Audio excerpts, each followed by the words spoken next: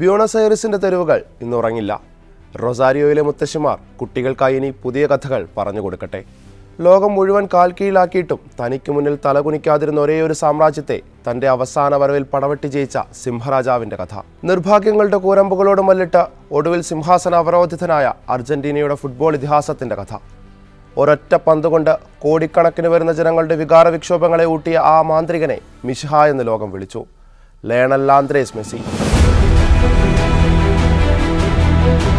നീലാകാശവും നീലക്കടലും സാക്ഷിയാണ്. അയാൾ ലോക ഫുട്ബോളിലെ അമരക്കാരുടെ തലപ്പാവ് അറേബ്യൻ മണ്ണിൽ വെച്ച് ഏറ്റുവാങ്ങുന്നു. അപ്പോഴേക്കും ലാറ്റിൻ അമേരിക്കയിലേക്ക് ദൂതുപോയ ദോഹയിലെ തണുത്ത കാറ്റ ഇങ്ങനെ പറയുന്നുണ്ടായിരുന്നു. റൊസാരിയോയുടെ രാജകുമാരനിത പൂർണനായിരിക്കുന്നു. സ്വാഗതം സോക്കർ സ്റ്റോറീസിലേക്ക്.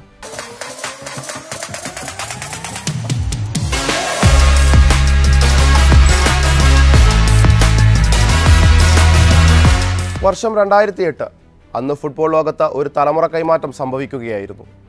ഇതിഹാസങ്ങളുടേത് മാത്രമെന്ന് ലോകം വിശ്വസിക്കുന്ന പത്താം നമ്പർ ജേഴ്സിക്ക് അന്ന് ബാഴ്സലോണയിൽ പുതിയ അവകാശിയുണ്ടാകുന്നു. മറഡോണയും റിക്വിൽമിയും റിവാൾഡോയും എല്ലാം കളിയഴക് കൊണ്ട് അലങ്കരിച്ച ആ പത്താം നമ്പർ ഒരു നാപ്കിൻ പേപ്പറിൽ പന്ത്രണ്ടാം വയസ്സിൽ കരാർ ഒപ്പുവെച്ച് ബാഴ്സയിലേക്ക് എത്തിയ പയ്യനിലേക്ക് കൈമാറ്റം ചെയ്യപ്പെടുന്നു. കാലമാ ചരിത്ര നിമിഷത്തിന് കരുതി വെച്ചത് ബ്രസീൽ ഇതിഹാസം റൊണാൾഡീനോയുടെ കൈകളും. അതിനും എത്രയോ വർഷങ്ങൾക്ക് മുൻപ് റൊണാൾഡീഞ്ഞോ അയാളുടെ സ്റ്റാർഡത്തിൽ അഭിരമിക്കുന്ന കാലത്ത് ആ പയ്യനെക്കുറിച്ച് പറഞ്ഞു വെച്ചത് ഇങ്ങനെയായിരുന്നു. അവൻ എന്നെക്കാളും വലിയ സൂപ്പർ താരമാകും. ലോക ഫുട്ബോൾ അവന്റെ പിന്നാലെ സഞ്ചരിക്കും. അയാളുടെ പ്രവചനം ഒരണുവിട തെറ്റാതെ സത്യമായി. ലാപുൽഗെ എന്ന ലാറ്റിൻ അമേരിക്കക്കാർ വാത്സല്യത്തോടെ വിളിച്ച ആ പയ്യന് പിന്നാലെ ലോകം ഭ്രാന്ത് കൊണ്ട് തുന്നിക്കെട്ടിയ ആ തുകൽപന്ത് ഓടിത്തുടങ്ങി. ഭാഷയോ രാജ്യമോ അതിർത്തികളോ അതിർവരമ്പുകളോ ഇല്ലാതെ ലോക ഫുട്ബോളിനെ ലേണൽ ആന്ദ്രേസ് മെസ്സി തന്റെ ഇടങ്കാലുകൊണ്ട് കീഴടക്കി.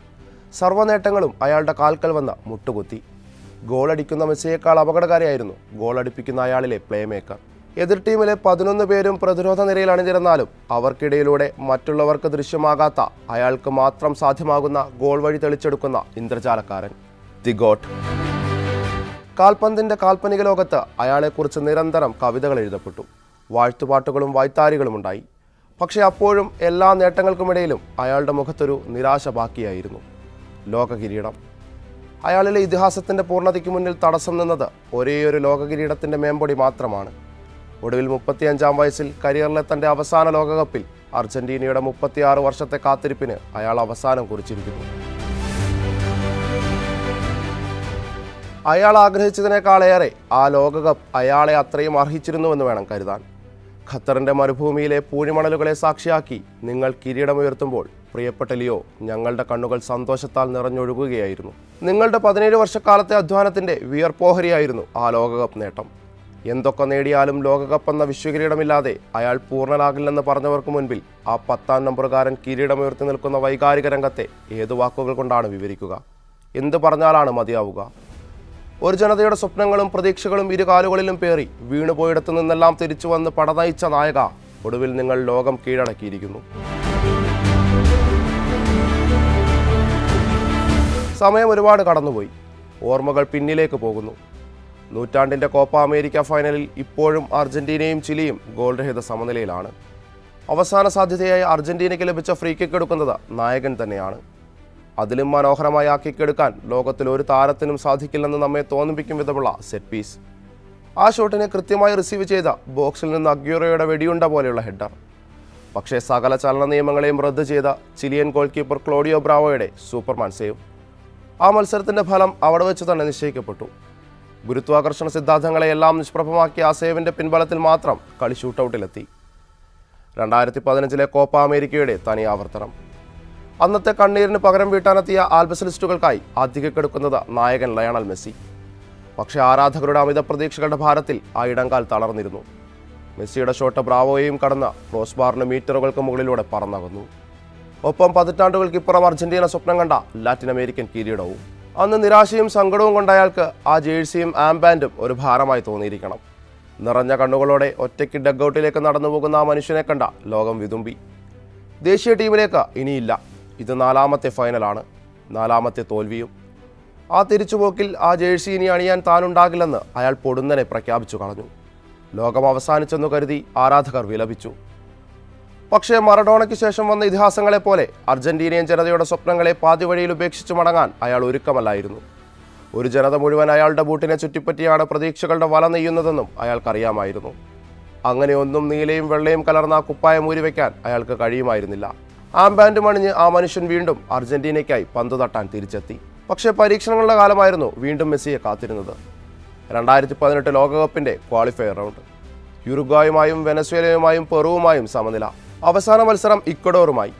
അതിലെങ്കിലും സമനിലപ്പൂട്ട് പൊളിക്കാൻ കഴിഞ്ഞില്ലെങ്കിൽ അർജന്റീനയില്ലാത്ത ലോകകപ്പിന് റഷ്യ ആതിഥ്യമരളും കളി തുടങ്ങി ആദ്യ മിനിറ്റിൽ അർജന്റീനയുടെ ഹൃദയം തകർത്തുകൊണ്ട് ഇക്വഡോർ സ്കോർ ചെയ്യുന്നു. അർജന്റീനയും മെസ്സിയും അവരുടെ ലോകകപ്പ് സ്വപ്നം അവിടെ വെച്ച് ഉപേക്ഷിച്ചെന്ന് ഏവരും വിധി എഴുതി. പക്ഷേ കഥ അവിടെ തുടങ്ങുന്നതേ ഉണ്ടായിരുന്നുള്ളൂ. പിന്നീട് കണ്ട കാഴ്ച ഇങ്ങനെയാണ്. എതിരാളികളുടെ മസ്തിഷ്കത്തിൽ നിന്ന് കാലുകളിലേക്ക് നിർദ്ദേശത്തിന്റെ സിഗ്നലുകൾ പ്രവഹിക്കും മുമ്പ് തന്നെ അയാൾ പന്തും റാഞ്ചി അവരുടെ ബോക്സിൽ എത്തിയിട്ടുണ്ടാകും. ഒന്നാം മിനിറ്റിൽ വീണ ഗോളിന് പതിനൊന്നാം മിനിറ്റിൽ മറുപടി ഗോൾ പത്തൊൻപതാം മിനിറ്റിൽ ലീഡ് അറുപത്തിരണ്ടാം മിനിറ്റിൽ ഹാട്രിക് നേട്ടം. Yes Lionel Messi saves Argentina. Messi തന്റെ മൂന്നാം ഗോൾ സ്കോർ ചെയ്യുമ്പോൾ കമൻട്രി ബോക്സിൽ നിന്ന് വന്ന ഈ വാക്കുകൾ മാത്രം മതി. എന്തുകൊണ്ടാണ് അയാളെ മിഷഹ എന്ന് ലോകം വിളിക്കുന്നതെന്ന് മനസ്സിലാക്കാൻ?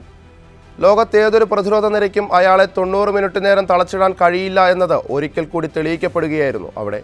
അങ്ങനെ അത്ഭുതങ്ങൾ പ്രവർത്തിക്കുന്ന മിഷഹായുടെ തോളിലേറി അർജന്റീന റഷ്യൻ ലോകകപ്പിന് യോഗ്യത നേടി. പക്ഷേ ചോർന്നൊലിക്കുന്ന പ്രതിരോധവുമായി റഷ്യയിലേക്ക് വിമാനം കയറിയ ടീം അർജന്റീന ആരാധകരുടെ കിരീട പ്രതീക്ഷകളെ പൂവണിയിച്ചില്ല. പ്രീ ക്വാർട്ടർ തോൽവിയോടെ തിരിച്ച് നാട്ടിലേക്ക് മടങ്ങുമ്പോൾ വരാനിരിക്കുന്ന കോപ്പയിലായിരുന്നു അവരുടെ പ്രതീക്ഷകൾ. പക്ഷേ വീണ്ടും നിരാശയുടെ പടുകുഴിയിലേക്ക് തള്ളിയിട്ട ഒരു കോപ്പ അമേരിക്ക ദുരന്തം കൂടി അയാളുടെ കരിയറിൽ സംഭവിച്ചു. അതും ബ്രസീലിനെതിരായ സെമി തോൽവിയുടെ രൂപത്തിൽ. എന്നാൽ പിന്നീട് വരാനിരുന്നത് ഉയർത്തെഴുന്നേൽപ്പിന്റെ ദിനങ്ങളാണ്. ഒരു പരാജിതനെ പോലെ തലകുനിച്ചാകരുത് അയാൾ മടങ്ങേണ്ടതെന്ന് കാലം കണക്ക് പുസ്തകത്തിൽ എന്നേ കുറിച്ചിട്ടിരുന്നു. ലയണൽ ആന്ദ്രേസ് മെസ്സി ബൂട്ടഴിക്കേണ്ടത് ലോകത്തിലെ ഏറ്റവും മികച്ച കളിക്കാരൻ എന്ന തലക്കെട്ടോടുകൂടിയാണ് അതുകൊണ്ട് അയാളുടെ തിരിച്ചുവരവ് ഒരു അനിവാര്യത തന്നെയായിരുന്നു. അതിന് കാലം ഒരുക്കി വെച്ചതാകട്ടെ ഒരു സ്വപ്ന ഫൈനലും. രണ്ടായിരത്തി ഇരുപത്തിയൊന്ന് ജൂലൈ പതിനൊന്ന്. രണ്ടായിരത്തി ഏഴിൽ അർജന്റീനയുടെ കണ്ണീർ വീണ കോപ്പ അമേരിക്ക ഫൈനലിനിപ്പുറം ബ്രസീലും അർജന്റീനയും ആദ്യമായി ഒരു ഫൈനൽ വേദിയിൽ ഏറ്റുമുട്ടുന്നു. കളിയുടെ ഇരുപത്തിരണ്ടാം മിനിറ്റ്. സ്വന്തം ഹാഫിൽ നിന്ന് റോഡ്രിഗോ ഡീപ്പോൾ നൽകിയ നീളൻ പാസ ഡിഫൻഡർ റെനാൻ ലോദിയെ മറികടന്ന ഡീമരിയുടെ കാലുകളിലേക്ക്. ബ്രസീൽ ഗോളി എഡേഴ്സനെ നിഷ്പ്രഭനാക്കി. വലയിലേക്ക് ഏഞ്ചൽ ഡിമരിയുടെ ഒരു ലോബ് ഷോട്ട്. മരക്കാനയിലെ ബ്രസീൽ ആരാധകരെ മുഴുവൻ നിശ്ചലമാക്കി കളഞ്ഞ മൊമെന്റ്. ഒടുവിൽ തൊണ്ണൂറാം മിനിറ്റിൽ അവസാന വിസിലും മുഴങ്ങി. ഇരുപത്തിയെട്ട് വർഷങ്ങൾക്കിപ്പുറം കാലം അർജന്റീനയോട് നീതി കാട്ടിയിരിക്കുന്നു. ഫുട്ബോൾ ദൈവങ്ങളും. സാക്ഷാൽ മറഡോണയ്ക്ക് സാധിക്കാത്തത് ഫുട്ബോളിന്റെ മിഷിഹായ്ക്ക് സാധ്യമായിരിക്കുന്നു. മൂന്ന് പതിറ്റാണ്ടോളം നീണ്ട കാത്തിരിപ്പിനൊടുവിൽ കോപ്പ കിരീടത്തിൽ അർജന്റീനയുടെ ക്യാപ്റ്റൻ ലയണൽ മെസ്സി മുത്തമിടുമ്പോൾ ലോകം മുഴുവൻ ഉന്മാദത്തിന്റെ പരകോടിയിലേക്ക് എടുത്തെറിയപ്പെടുകയായിരുന്നു. രാജ്യത്തിനു വേണ്ടി എന്തു നേടിയെന്ന ചോദ്യത്തിന് അന്ന് മാരക്കാനയിൽ വെച്ച് അയാൾ ഉത്തരം പറഞ്ഞു. ലാറ്റിൻ അമേരിക്കൻ കിരീടത്തിനൊപ്പം ഗോൾഡൻ ബൂട്ടും ഗോൾഡൻ ബോളും ആ മനുഷ്യൻ ലോകത്തെ ഉയർത്തിക്കാട്ടി. ഇനി ഒരേയൊരു ഒരു ലാൻഡ്മാർക്ക് മാത്രമായിരുന്നു അയാൾക്ക് മുന്നിലുണ്ടായിരുന്നത്. ലോകകപ്പ്. മറഡോണയ്ക്ക് ശേഷം ഫുട്ബോൾ കൊണ്ട് അർജന്റീനക്കാരുടെ മനസ്സ് ഇത്രയധികം കീഴടക്കിയ ഒരു മായാജാലക്കാരനും ആ രാജ്യത്തുണ്ടായിട്ടില്ല. അതുകൊണ്ട് തന്നെ അയാൾ അർഹിക്കുന്ന യാത്രയയപ്പ് നൽകണമെന്ന് അവർക്ക് നിർബന്ധമുണ്ടായിരുന്നു. അരയും തലയും മുറുക്കി ലയണൽ സ്കലോണിയും ഇരുപത്തിയാറ് പേരും അങ്ങനെ ഖത്തറിലേക്ക് വിമാനം കയറി. പക്ഷേ ആദ്യ മത്സരത്തിൽ കാത്തിരുന്നത് ഞെട്ടിക്കുന്ന തോൽവി. വീണ്ടും കാലം മെസ്സിയോടും അർജന്റീനയോടും പക വീട്ടുകയാണോ എന്ന് തോന്നിപ്പോയ ദിവസം. എന്നാൽ പിന്നീട് അങ്ങോട്ട് സ്വപ്നതുല്യമായ ഒരു യാത്രയായിരുന്നു. മുൻപിൽ പെടുന്ന സർവരാജ്യങ്ങളെയും കീഴടക്കിയുള്ള പടയോട്ടം. ആ കൊതിപ്പിനൊടുവിലെ അവസാന യുദ്ധഭൂമിയിൽ ഫ്രാൻസും വീണു. അങ്ങനെ ആ അറേബ്യൻ മണ്ണിൽ വെച്ച ലോകം ഭരിക്കാനുള്ള ഉടമ്പടി അർജന്റീനയുടെ പേരിൽ എഴുതപ്പെട്ടു. ഇനി കിരീടധാരണത്തിന്റെ സമയമാണ്. അതിനിന്ന് ഒരേ ഒരു അവകാശിയെ ജീവിച്ചിരിപ്പുള്ളൂ. Who else other than Lionel Messi പ്രതിഭ കൊണ്ട് ഇതിഹാസങ്ങളെ പോലും അമ്പരപ്പിച്ച മാന്ത്രിക നിങ്ങൾ പൂർണനായിരിക്കുന്നു. ഇനി നിങ്ങൾക്ക് മുന്നിൽ ഒരു പ്രതിരോധ കോട്ടകളുമില്ല. നിങ്ങളുടെ കാലത്ത് ഫുട്ബോൾ കാണാൻ സാധിച്ച ഞങ്ങളത്രേ ഭാഗ്യവാന്മാർ. അയാൾക്കറിയാവുന്ന ഏറ്റവും നല്ല ഭാഷ ഫുട്ബോളിന്റേതായിരുന്നു അതയാൾ മനോഹരമായി പറഞ്ഞു വെച്ചു. നിങ്ങൾ മത്സരിച്ചത് മുഴുവൻ നിങ്ങളോട് മാത്രമായിരുന്നു. That's why we call you the greatest of all time Pep Guardiola ആ ഇതിഹാസത്തെക്കുറിച്ച് പറഞ്ഞു വെച്ച വാക്കുകൾ ഉദ്ധരിച്ചുകൊണ്ട് നിർത്താം. അയാളെക്കുറിച്ച് എഴുതരുത്. അയാളെ വിവരിക്കാനോ വിശദീകരിക്കാനോ ശ്രമിക്കരുത്. Just watch him